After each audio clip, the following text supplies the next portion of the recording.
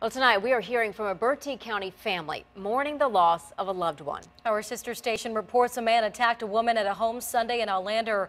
10 on your side's Erin Kelly has been talking to her family. They said the victim had been stabbed and they don't know why this happened. She leaves behind six children.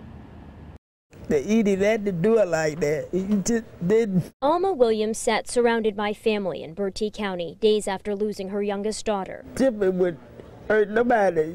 She loved everybody. According to our sister station, the sheriff's office said Thurman Wiggins attacked a woman at a home in Aulander on Sunday. Family identified the victim as 29 year old Tiffany Williams. Her mother said she last saw Tiffany on Saturday and everything seemed fine. Then we got to the hospital.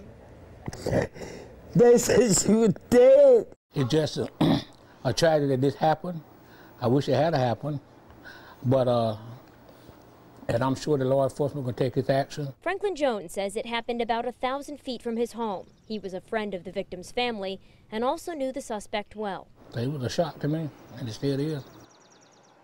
Our sister station reports that Wiggins could face more charges. He's expected in court on Wednesday. In Bertie County, Erin Kelly, 10 on your side.